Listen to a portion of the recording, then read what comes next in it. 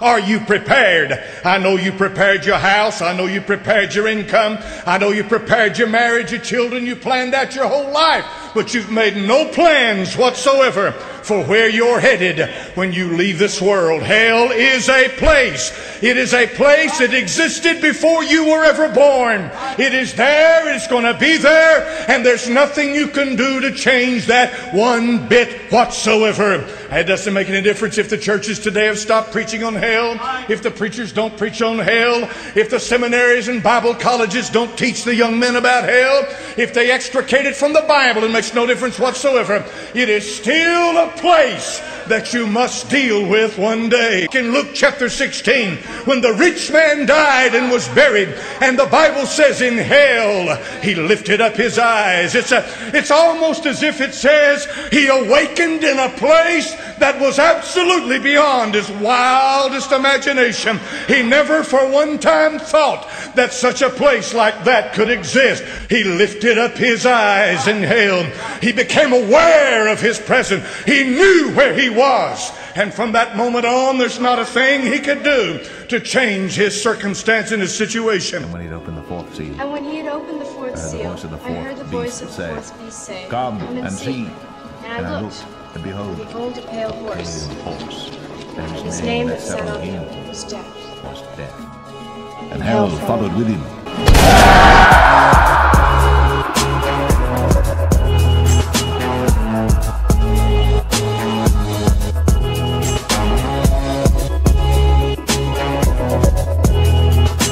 He lifted up his eyes and hailed. He became aware of his presence. He knew where he was. And from that moment on, there's not a thing he could do to change his circumstance and his situation. There is no salvation in hell. There's no Savior in hell. There's no Bible in hell. There's no blood in hell. There's no altars in hell. There's no forgiveness in hell. Whatever goes to hell stays in hell. It's permanent. It's settled. It's settled. It's over with.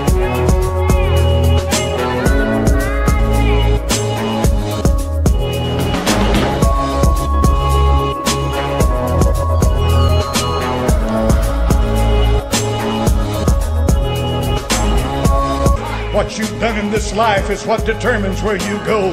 When you die without God, you go to hell. Hell is a place, therefore, that awaits you at the end of your life. It's waiting.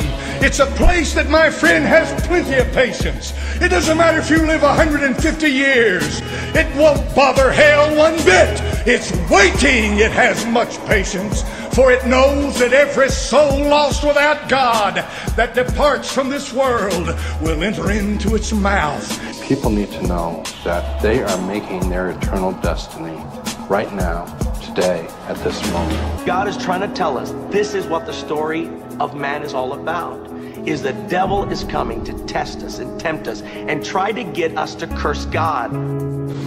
God wants people to follow him by choice. He doesn't want robots.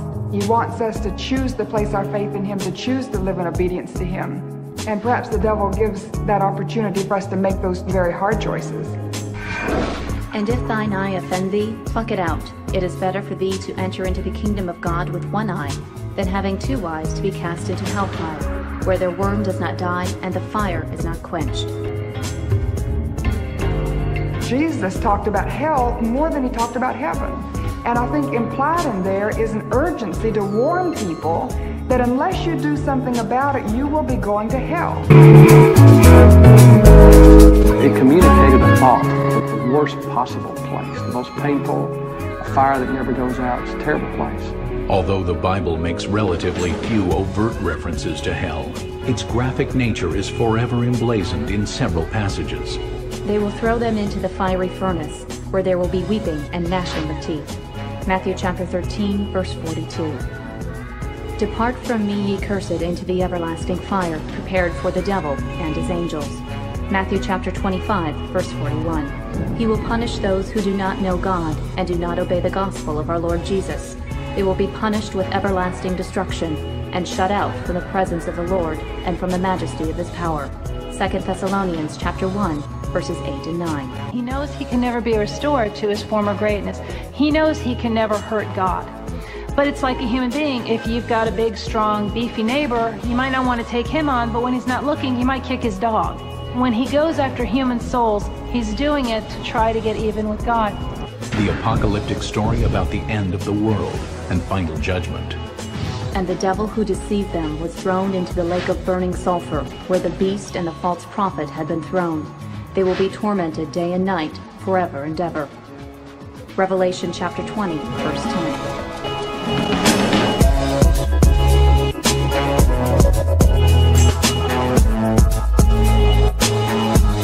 The earth opened its mouth and swallowed them.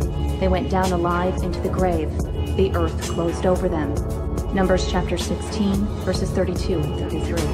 The devil both watches over hell and entices us to join him there. The quickest path to hell is doing Satan's bidding here on earth. The devil's presence and the devil's temptation give me a choice to do right or to do wrong, a choice to give into the temptation or to resist it and be obedient to God's word. Lucifer, the light bearer, is one of God's most beautiful and beatific angels. But his hubris drives Lucifer to challenge God.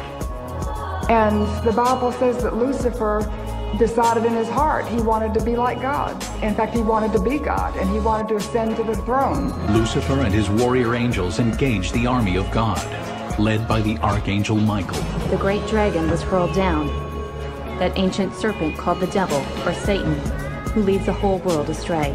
He was hurled to the earth and his angels with him. Revelation chapter 12, verse 9. There was a battle, there was a fight, there was an argument, there was a reckoning. And God said, You can't be up here anymore. I cannot use you as I'll use others. And banished him to earth, him to earth, him to earth.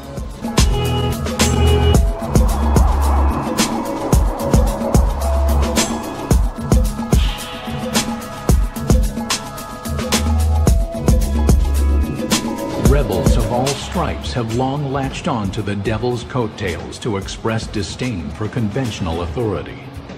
Celebrating the devil is a startling way to oppose all that society holds sacred, a fact that some in rock and roll have exploited.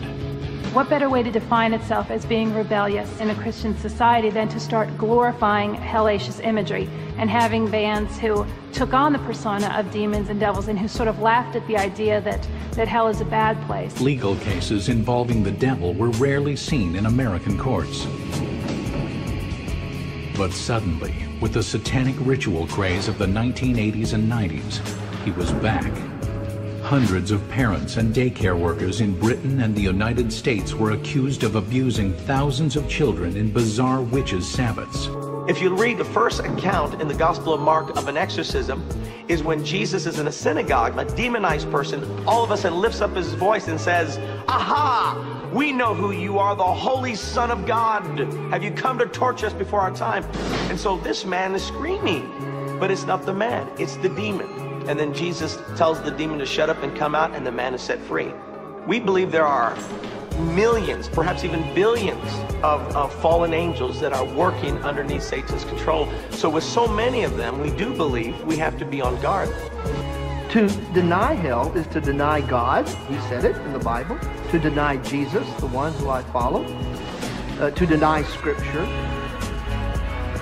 Wide is the gate and broad is the road that leads to destruction, and many may enter through it. But small is the gate and narrow the road that leads to life, and only a few will find it. Matthew chapter 7, verses 13 and 14. Let the wicked forsake his way, and the evil man his thoughts. Let him turn to the Lord, and he will have mercy on him, and to our God, for he will freely pardon. Isaiah chapter 55, verse 7.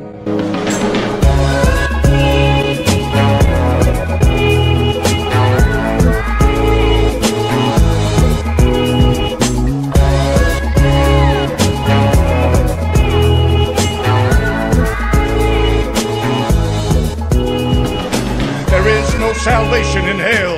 There's no Savior in hell. There's no Bible in hell. There's no blood in hell. There's no altars in hell. There's no forgiveness in hell. Whatever goes to hell stays in hell. It's permanent. It's settled. It's settled. It's over with. That's why Jesus came 2,000 years ago. That's why he died at the cross at Calvary. He didn't die to make you rich. He didn't die because of who you are. He didn't die to create this hellhole you know about. He died to keep you out of hell. That's why he went to the cross. That's why it's so horrible. That's why it took the precious blood of the Lord Jesus Christ. That's why the Bible said God made him to be sin for us who knew no sin. That's why Calvary was so horrendous because he would keep you out of hell. There's only one name on the face of this earth that can keep you out of hell. It's not Baptist. It's not Methodist. It's not Presbyterian. It's not Catholic. It's not Jew. There's just one name that can keep you out of hell, and it's the name of Jesus. Folks use that name day in and day out. They use the word hell day in and day out. They become desensitized to it. It has no meaning anymore. It has no punch to it. It doesn't grab the soul and the spirit. And that, my friend, was born in hell itself. Satan created that. You become so familiar with the word that it's just part of the average language of, the, of people who walk to and fro on the street. But hell is still existing. Nothing has stopped it. It burns to the lowest hell. That Bible says in Hebrews chapter number 12 and verse 29, our God is a consuming fire fire. There's holiness about God. If you could go into the presence of God unsaved, He would literally annihilate you. You'd rather be in hell in a heartbeat than to come before a holy God. Thrice holy, holy, holy, holy. Dare walk into the presence of God without the blood covering your soul. You'd scream for hell. You'd beg for hell. You'd cry for hell. And yet I firmly believe hell burns because of the holiness of God. That's what hell is about. It's about a place that you go to without God. Somebody said hell is separation from God. Who told you that? Where's that in the Bible? Find it from Genesis to Revelation. Well, I heard the greatest evangelist say that. It make a difference what he said. What does the Bible say? He'll be dead and gone, and another generation will come on. Then another generation will come on. Then another generation will come on. What does the Bible say? We're judged by the book, my friend. What does the Bible say? Well, preacher, I want to tell you the truth. I've never read it. That's the truth. Most Christians haven't read it. They've never read it through from Genesis to Revelation. The sad state is that in the church today, most people are as ignorant of the Bible as they can be. That's why they can be tossed from one church to the next church, one doctrine to the next doctrine. It's because we are such a flim flam bunch because we don't know anything about God or His Word. It's a sad commentary, but the Bible has not changed. Hell is real. I'm not going there. Jesus Christ said in Matthew chapter number 5, hellfire. Oh, if I thought for a moment I was going to hell, I don't think I could sleep, sleep tonight. If I thought for a moment that I may, I may die. I, my, my, my body may cease today. My heart may beat its last. This may be my last day on planet Earth. It may be your last day on planet Earth. You may be totally, completely, physically healthy right now, but something takes your life away. You could die before the sun goes down. Your body be lying dead in the morgue down here somewhere, and they'll be having your funeral a couple of days from now. Where will you be? Where will you be? Where will you be? Well, preacher, I just don't believe all that. Oh, you don't, do you? Well, what do you base it on, dear friend? What do you base the fact that you don't believe in hell? What do you base, what do you base it on? Well, I just don't believe God's like that. What do you know about God? What God you talking about? You ever bothered to read His Word? You ever bothered to read the Word of the God that you say you know about? What did He say in His Word? He said, My spirit shall not always strive with man. He brought a flood upon this earth one time. Thousands of years ago, the layers upon planet Earth proved that flood was universal. From one end of the globe to the other, water covered this earth. Water was all over the planet. You find it everywhere if you want to look. It's there. He destroyed it one time with water, never to do it again, but next time he's coming with fire. The Lord Jesus Christ said the elements are going to melt with fervent heat. Where's that at in the Bible? It's in the Bible, friend. Read the Bible, you'll find out that God's not too happy with what's going on around us.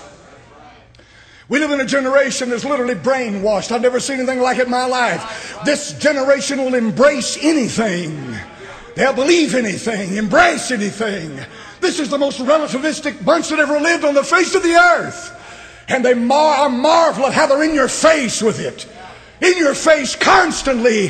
And it's gotten to the point where everybody's desensitized. Nobody's convicted of anything anymore. Murderers day in and day out. Murderers in this town right now would blow your brains out for enough money for fix it crack cocaine. It's never crossed their murdering mind that they're going to burn in hell. They've never thought the fact that they're going to burn one day in hell. We've gotten to the point now where it's just simply passe. It doesn't matter anymore. There's no meaning to anything. Whatever you feel good about doing, do it. Here's the situation. I see it today and I know how, my goodness, Satan is so smart. Satan has brainwashed a whole nation. He's brainwashed them to the point to where sin's no longer sin, death is no longer death, human life is, has no value. Boy, do they walk to the streets today. We've got them locked up in our jails right now, perpetrating some of the worst crimes in history of this nation. Right here in Knoxville, Tennessee. And the families have been going through hell now and will be going through hell. They keep postponing the dates of the trials time and time again. Some of the worst murdering that ever happened. If those men had thought that one day they're going to die and drop off into hell and burn forever, it might have caused them to take note. And without Jesus Christ, they will drop off into hell and they will burn forever. Hell is full of murderers. One man was just recently sentenced to 40 years in, in Knoxville, Tennessee, 40 years for raping four women on Chapman Highway at knife point. Raping them, and he's just 26 or 27 years old himself. There's no fear among anybody today to take a woman and rape her. Put her at night, put her, just rape her. He'll go to hell without Jesus Christ. You didn't hear about that in the news. You don't read in the papers because they don't scare you to death. You live in an insane society, for there is no fear of God in their eyes. Nobody fears God anymore. Hell is not full.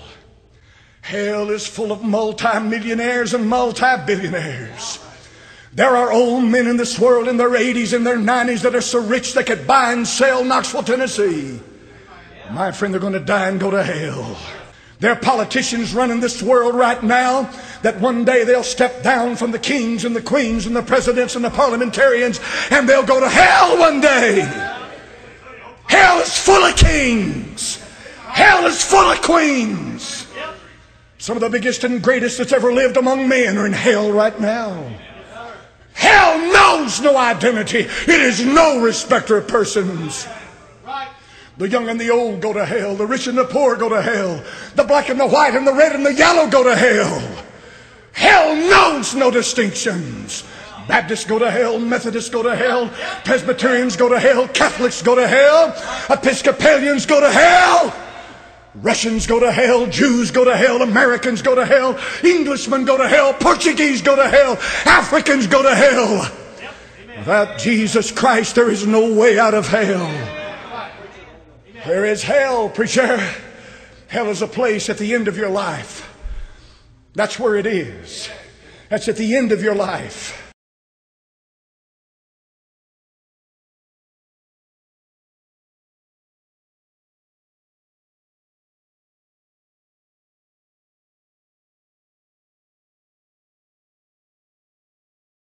I was dumb with silence. I held my peace, even from good, and my sorrow was stirred.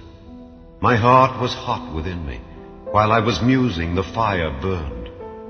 Then spake I with my tongue, Lord, make me to know mine end and the measure of my days, what it is, that I may know how frail I am. Behold, thou hast made my days as an handbreadth, and mine age is as nothing before thee. Verily every man at his best state is altogether vanity.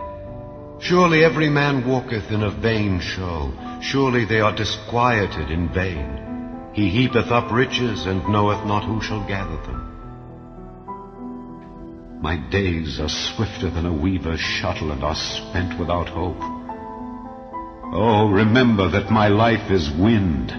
Mine eyes shall no more see good. The eye of him that hath seen me shall see me no more. Thine eyes are upon me, and I am not. As the cloud is consumed and vanisheth away, so he that goeth down to the grave shall come up no more. He shall return no more to his house, neither shall his place know him any more. Man that is born of a woman is of few days and full of trouble.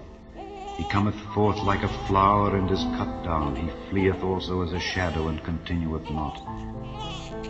For we are but of yesterday and know nothing, because our days upon earth are a shadow.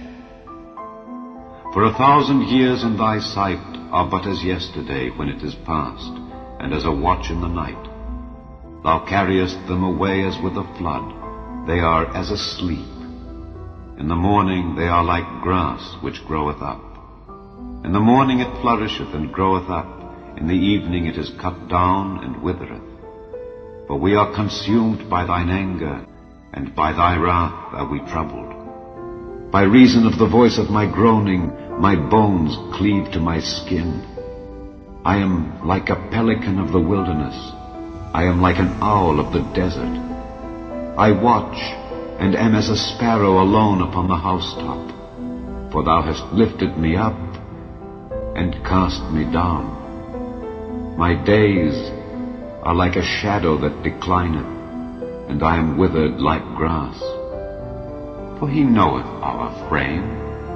He remembereth that we are dust. As for man, his days are as grass.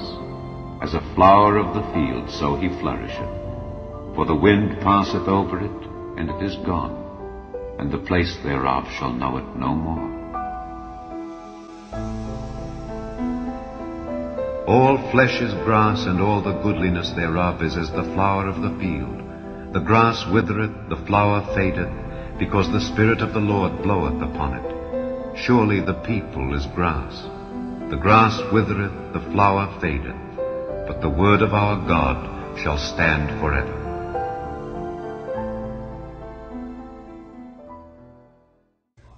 And here's the saddest thing about hell when you get there, it's too late. Nothing can be done for you. You're going to hell, and when you die, it's too late. The rich man said, Let me go back. Let me go back and warn my brethren. Oh, Abraham, let me go. This place of torment, I've got to warn them. He said, They've got Moses and the prophets. If they hear not Moses and the prophet, they hear not one that comes back from the dead. He said, Oh, Abraham, would you just please take Lazarus and just send him here with a drop on his finger to drop it in my tongue? Lest I be torn. Oh, just a little drop. Oh, Lazarus, just a drop. Ah, tormented in these flames. Hell is at the end of a Christ rejecting life.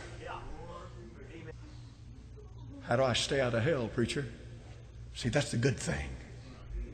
I don't want to go to hell, preacher. That's good. Thought of it, uh, that worries me, preacher. I don't want to go to hell. That's good. It's good. That's real good. How can I not go to hell, preacher? One name. One name given among men whereby we must be saved. Only one name. Only one name. That's the name of Jesus. He that hath the Son hath life. He that hath not the Son hath not life. What does it mean to have Him, preacher? It means you've embraced Him. You believe on Him. He's in you. He's your Savior. Is He? Let me give you a little bit of stuff right here that you need to hear. How many of you have heard about the hole that they dug over there in Russia, down into the ground? And they were digging this hole. It's, it's uh, deep, deep, deep down into the earth. And when they, they had this microphone, and they, they lowered this microphone down into this hole. And these men lowered it down in there because they, they, they wanted to hear the, the moving of, the, of the, the, the rocks and the shale and, you know, some kind of a scientific survey. So they were lowering the microphone down to hear this. These seismologists and, and, and, uh, and, and what are these, you know, the men that deal with this stuff. And they dropped it down in there, but what they heard was not what they wanted to hear. They pulled that thing back up out of there because they heard screaming. They heard humans screaming. They heard screaming. They heard screaming in hell. Now, I've got a clean copy of it now, and uh, I warn you, uh, this could scare you. Here's the email Dear Art Bell, I just recently began listening to your radio show and could not believe it when you talked about the sounds from hell tonight. My uncle had told me this story a couple of years ago, and I didn't believe him like one of your listeners who discounted the story as nothing more than just a religious newspaper fabricated account. The story about the digging of the hole and the hearing of the sounds from hell is very real. It did occur in Siberia. My uncle collected videos and audio tapes and so forth on the paranormal, supernatural. He passed away fairly recently. But he would have loved your show. He let me listen to one of the audio tapes that he had on the sounds from hell in Siberia, and I copied it. He received his copy from a friend who worked at the BBC. It took me a while to find it tonight, but attached is that sound from my uncle's tapes. It's not the greatest quality, but the sounds are there.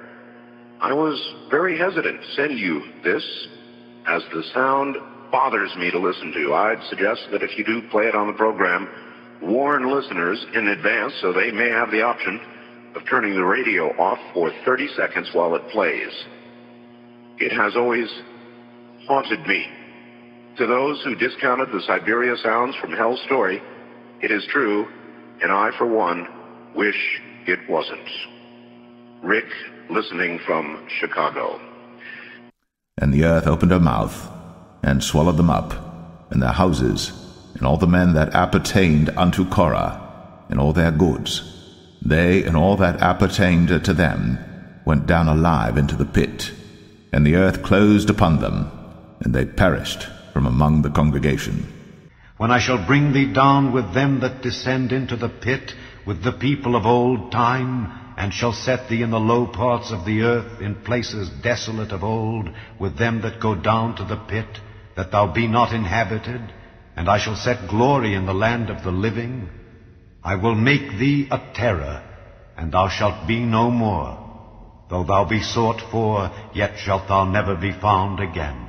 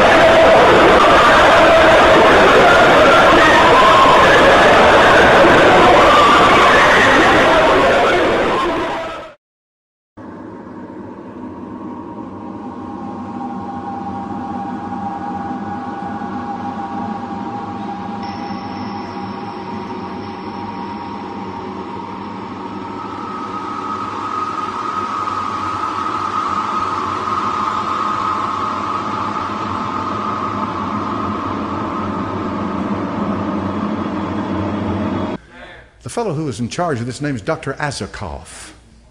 Dr. Azakov, he's an atheist. He's a Russian communist atheist. Didn't believe in God, didn't believe in heaven, didn't believe in an eternity. Died like a dog. Take your last breath, it's over. But he said, I believe in hell now. Now you say, well, I've seen that story on the internet and I don't believe it's true. Well, you know something? I've done a lot of research into that right there. We've got the tape of the screams in hell. We've got the sound of it. Did you know that some scientific work has been done on those tapes? And they have said if somebody did make this up, they did a good job.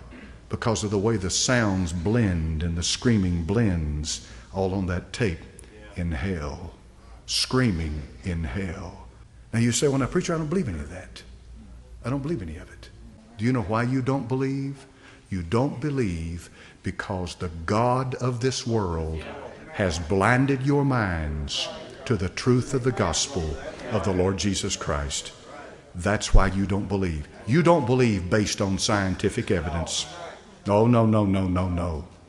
And you certainly don't believe based on your own personal experience. You don't believe because you don't want to believe. Your scapegoat is rationalism, the natural mind, and denial. I don't live in denial. You do. But I beg you, in the name of Jesus. That's what all these people are shouting about in here this morning. Jesus died and was buried and rose again the third day so that you could be saved. He loves you. He died for you. He shed his precious blood for you to be saved. You don't have to come down to the hour of death, terrorized, full of fear, not knowing where you're going. You can come down to that moment. If we do, we may not, because the Lord may come back before that.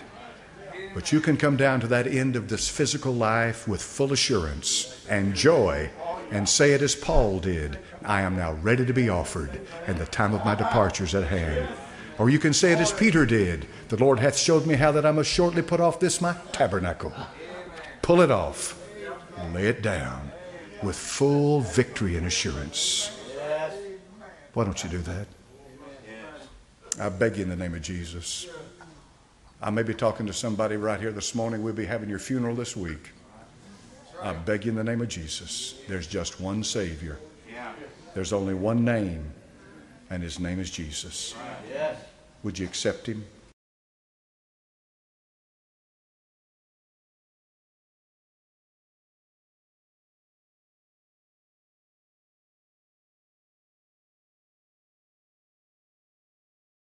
Chapter number 12 and verse 5. But I will forewarn you whom ye shall fear. Fear him which after he hath killed hath power to cast into hell. Have you noticed the wording? That's very important.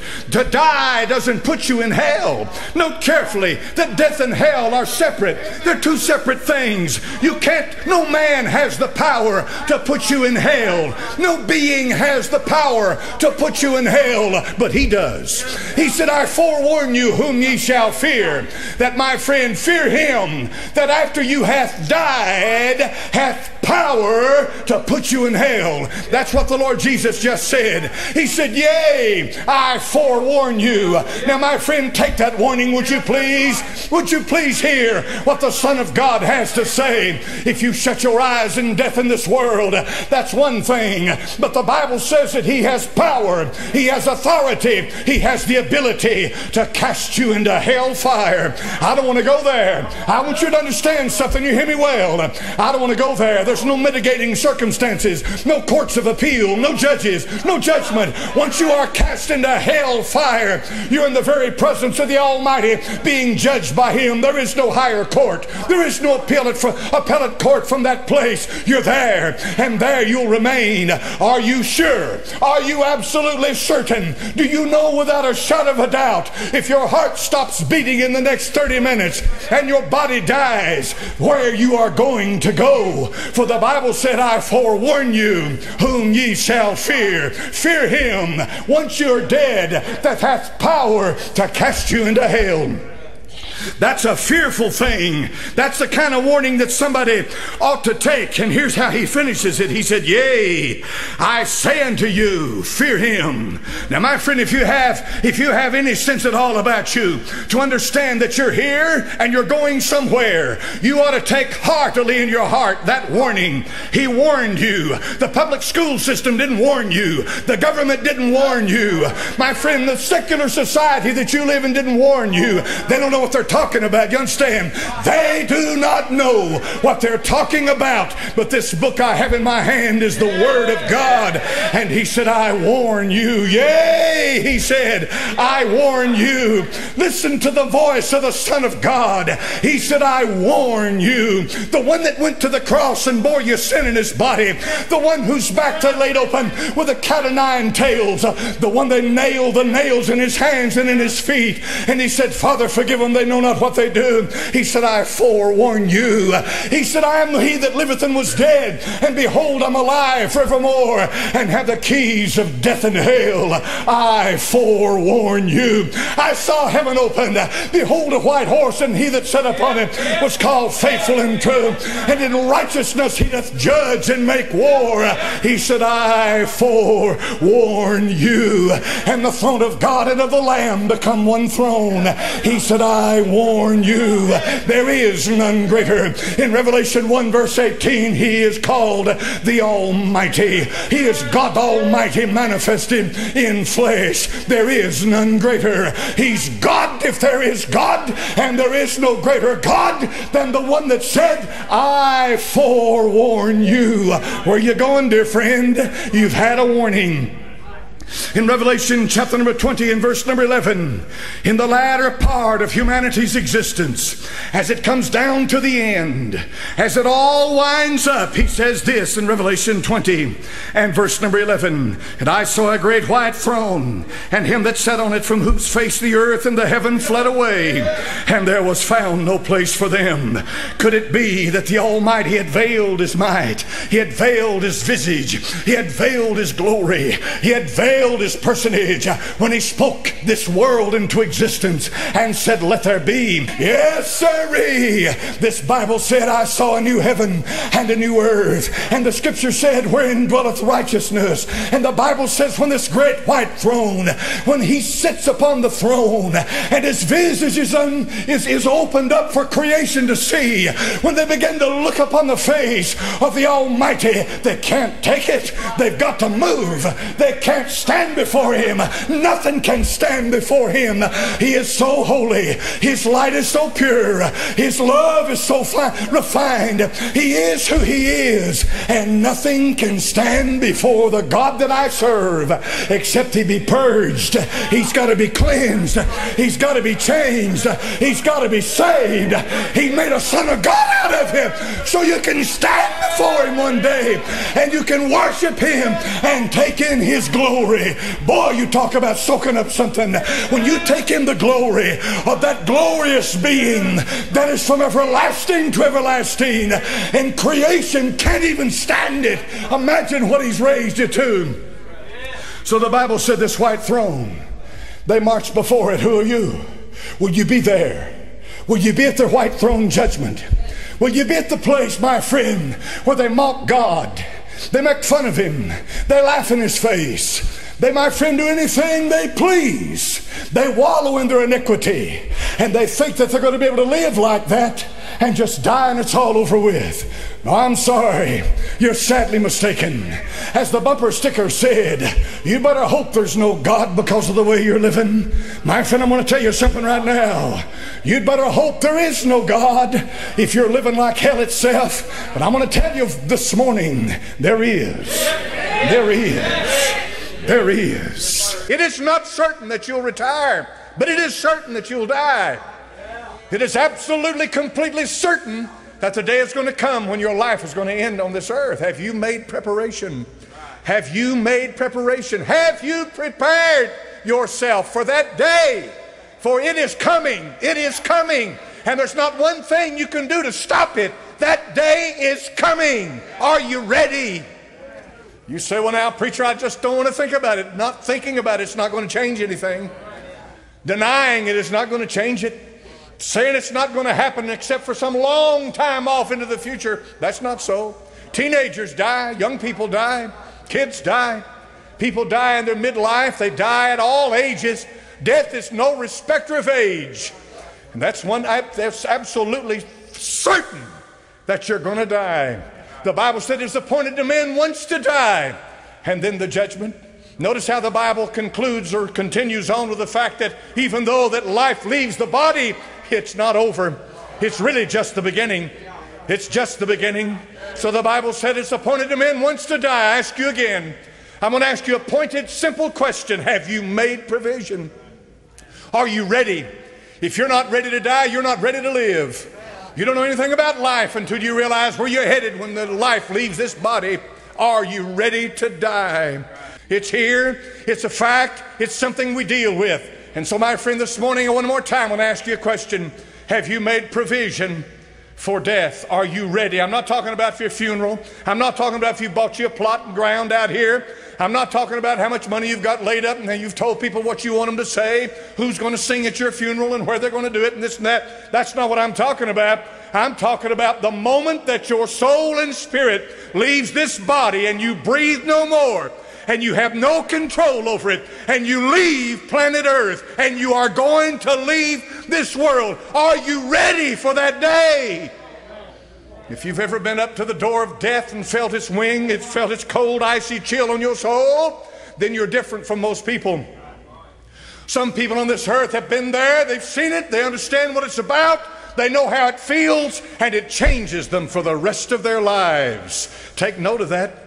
You ought to watch somebody that's been there. You ought to, you ought to listen to them. You ought to listen to what they've got to say because they have something to say that you need to hear.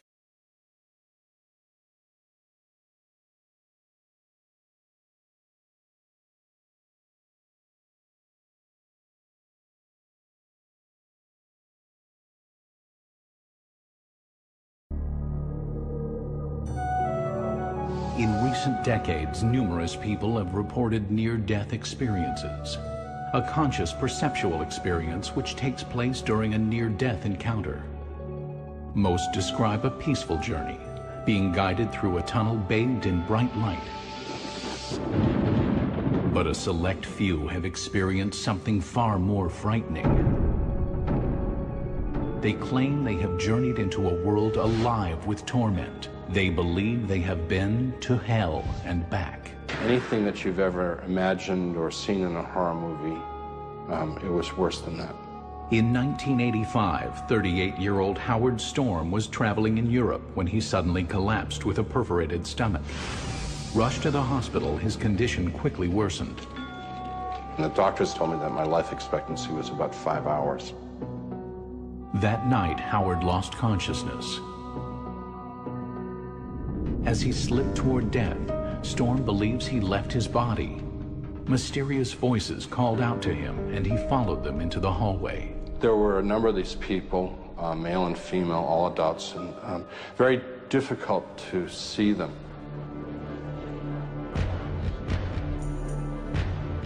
They immediately encircled me.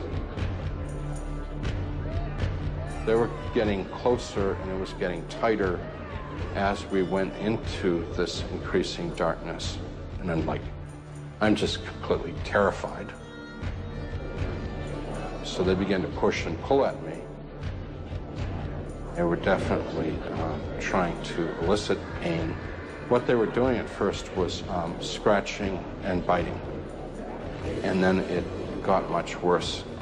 And I had their mouths in me and on me.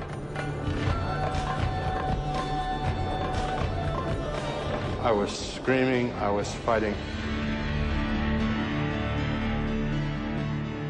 Although not a religious man, Storm says he called out prayers he had learned as a child in Sunday school. And the people who were around me couldn't bear the mention of God. And they became um, extremely violent and agitated. So I yelled out with everything that I had, Jesus, please save me. And he came to me and touched me and lifted me up and made me whole and filled me with his love and embraced me. Within minutes, Howard Storm was revived, and after surgery, he recovered. But his life was forever changed by what he believes he saw. This was like the portal of hell or the entrance to hell. People need to know that they are making their eternal destiny right now, today, at this moment. I want to notice the second thing in Luke chapter number 16, verse number 23 about death. You're going somewhere. Luke chapter number 16, verse number 23. The Bible said in verse number 22 And it came to pass the beggar died and was carried by the angels to Abraham's bosom. The rich man also died and was buried. Notice the way the Bible says this now. It's clear. It delineates the difference between the death of the body and the existence of the soul. The Bible said in verse number 22 and was buried. There's the body. Verse 23 and in hell he lift up his eyes, being in torments, and seeth Abraham afar off, and Lazarus in his bosom. Notice how the Bible says it. In hell he lift up his eyes. That's quite a thing. That's a descriptive term. That's the kind of thing that you ought to look at and think and take into your heart. He died. I don't know if he got sick and died. I don't know if he was struck down. I don't know what happened to him. I don't know if he's killed in an accident, but the Bible said the rich man died. It is inevitable. It's coming. He died. And they buried him. But they didn't bury him. They buried his body. For he's still around in the next verse. Notice how clear the scripture is in it. Even though they buried his body, the scripture says that in hell he lift up his eyes. He lift up his eyes. He took in where he was. It's the idea that after he body, his, his soul and spirit leaves his body, that he looks where he is. He looks around. He takes it in. And my, what a shock it must have been. My, what horror must have fled his soul. My, can you imagine how he must have felt? He might have been an atheist. He might have been an agnostic. He might have thought he was good. He might have been a self righteous religious person, regardless of what he was. The time came when he lifted up his eyes. Do you understand the horror that's going to flood your soul? The moment you wake up in hell, when you realize that there's nothing around you but damnation and sorrow and burning in hell. Can you imagine what that'll be like? There's nobody to plead with, there's nobody to cry out to, there's nobody to go to to get help. You're in hell. To lift up your eyes in hell has got to be the worst shock that could possibly happen to anybody. Not dying. You're going to die. You prepare yourself, some of you, for that. You know you're going to leave here. That's not a shock.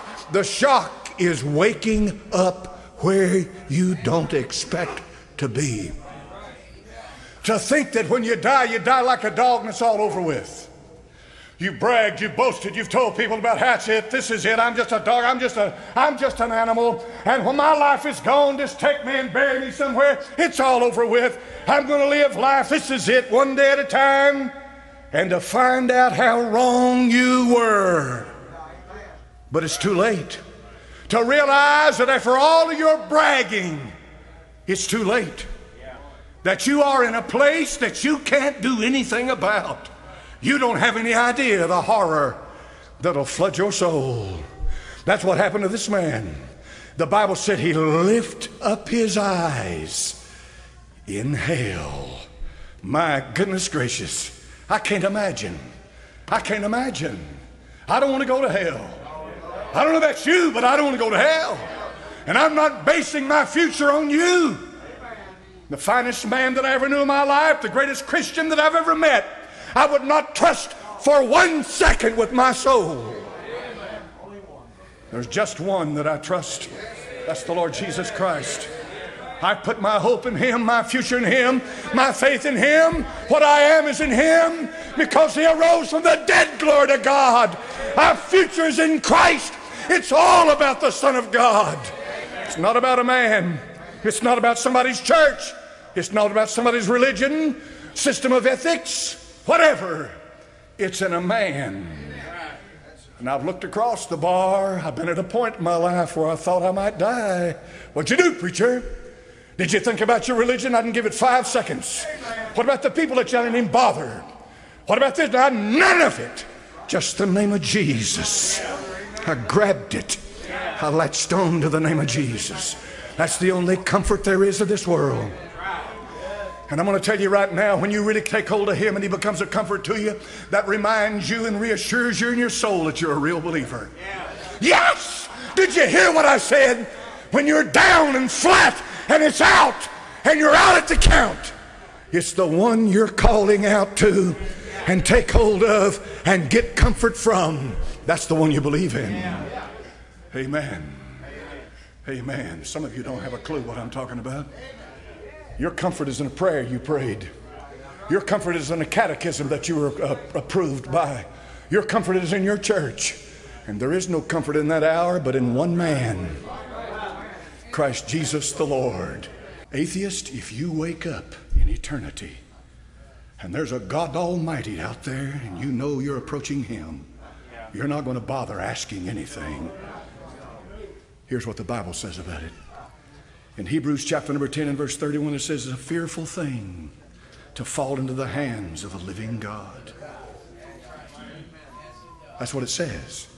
Your issue's not with Preacher Lawson. You pick me to death, you tear me up. I'm just a man, I'm a mortal being. If you could make it between you and me, why you got you got you won already. You've already won. It's not about you and me. It's about you and this. It was here before you ever showed up. It'll be here when you're long gone.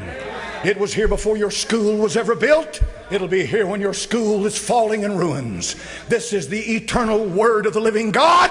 The issue is not Preacher Lawson, the issue is God's word. Here's a man who's the son of a Methodist preacher. He was a good man, a good moral man, benevolent man, but he had one horrible fault. His heart was full of bitterness, cursing. On several occasions, he went under deep conviction for salvation during revival meetings. Conviction is when you begin to quake because you hear the Word of God, not here, down here. God opens you up. That bothers sinners. When God opens you up, you know it's God because there's stuff He opens up to you that nobody knows about. Did you hear me? You can cover up your sin to your spouse, to your children, to your parents, to your friends. But, buddy, when you go into a service and something opens you up, and I mean opens you up and says, I know everything about everything, and starts naming it dates, times, places that's conviction because he points you to Christ. He went through conviction, turned it off. A year later, Another camp meeting held the same place, brought again under conviction, refused to yield. Listen to this. And three days later, he died suddenly. It's like J. Harold Smith when he preaches God's three deadlines. This man sinned away his day of grace. He was dead in three days. And by the way, they don't come any better than J. Harold Smith. God's three deadlines. Listen to this now if you don't hear anything else. I was with him in his last moments. He said, He seemed to be utterly forsaken of the Lord from the beginning of his sickness. The most powerful medicines had no effect on him whatsoever. Just as the sun of a beautiful Sabbath morning rose in its splendor over the eastern hills, he died in horrible agony. Listen. All through the night previous to his death, he suffered untold physical and mental torture. He offered to physicians all his earthly possessions if they would save his life. He was stubborn till the very last, would not acknowledge his fear of death till a few moments before he died. Then suddenly, he began to look, then to stare, horribly surprised and frightened, into the vacancy before him. Then exclaimed as he beheld the King of terrors in all of his merciless wrath. My God! My God!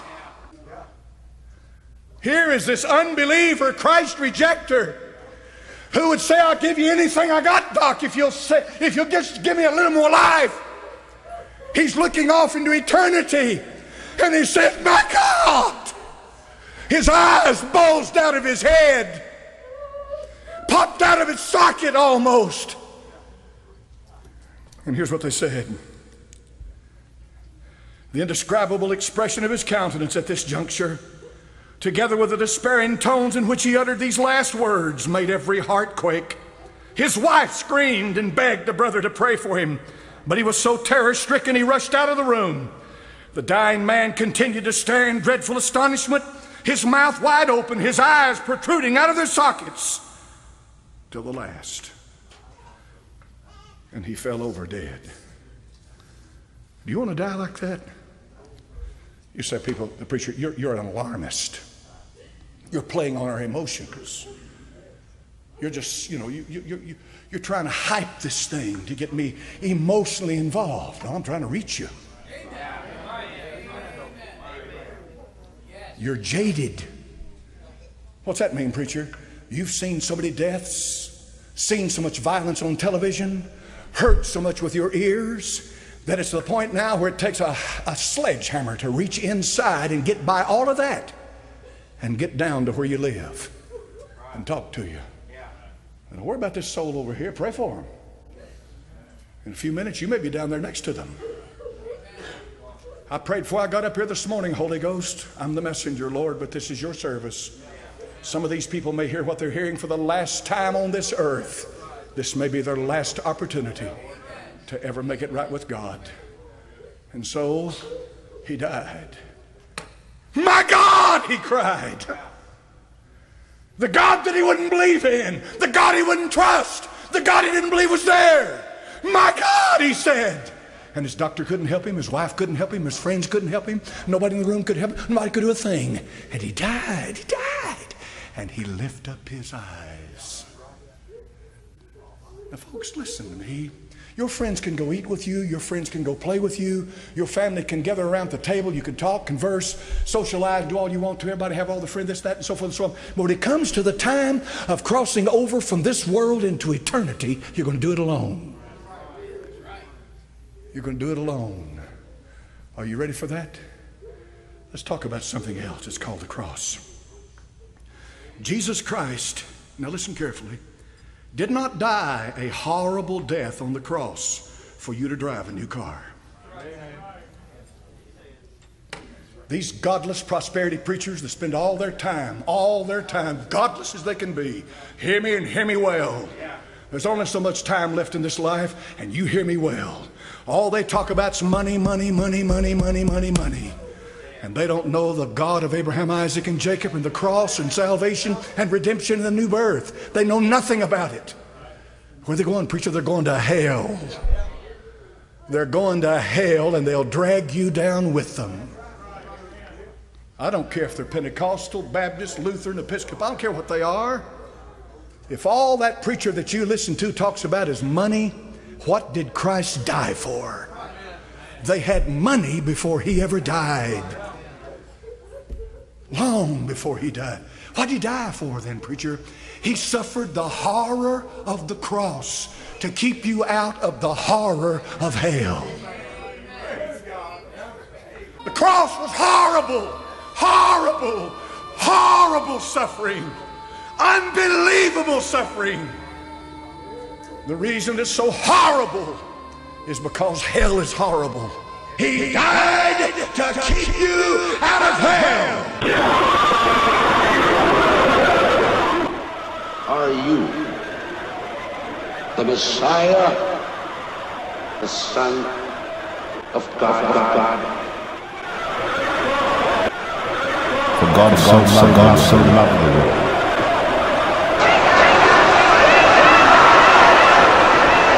that He gave His only begotten begotten Son.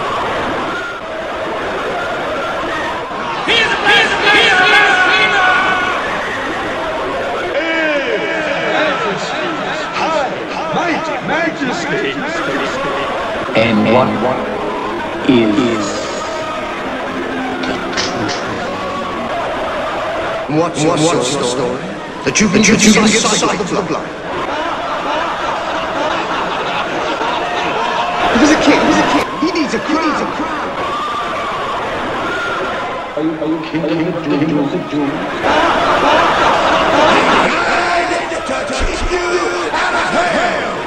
What have you got to say for yourself now?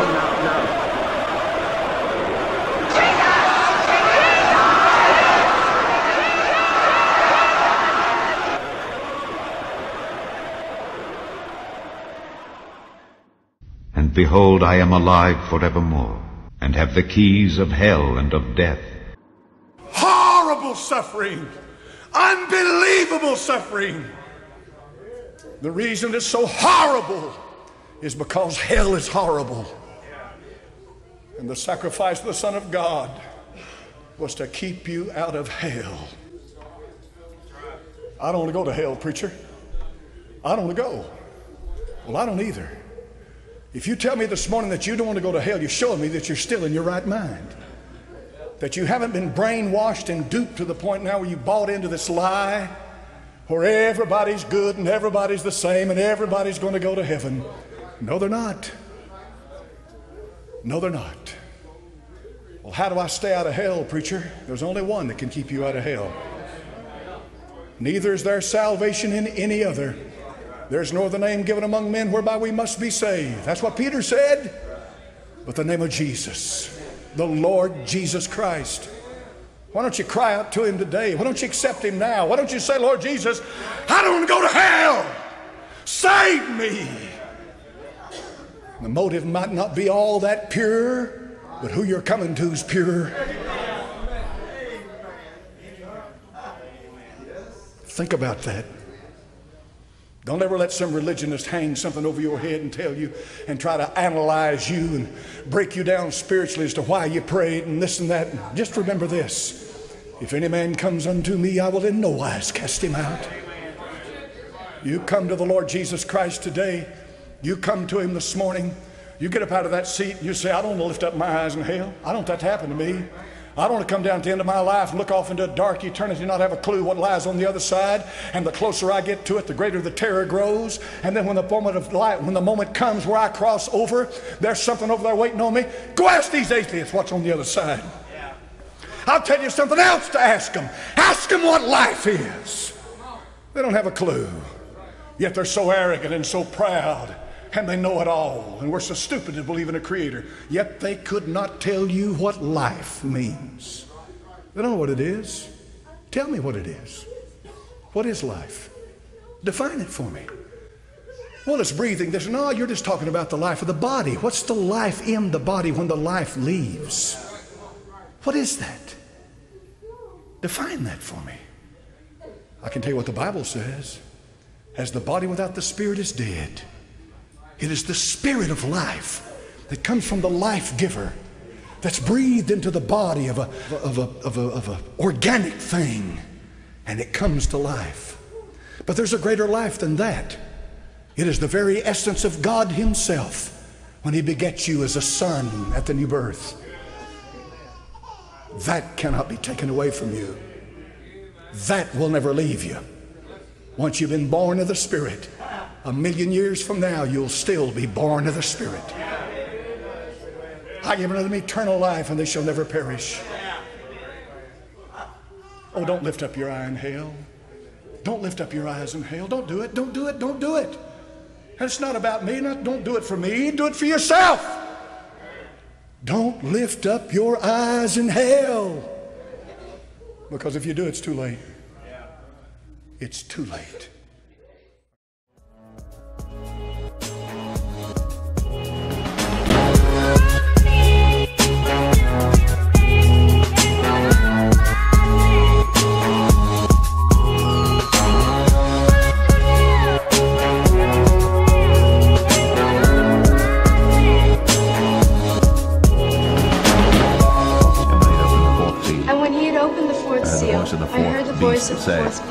Come and see.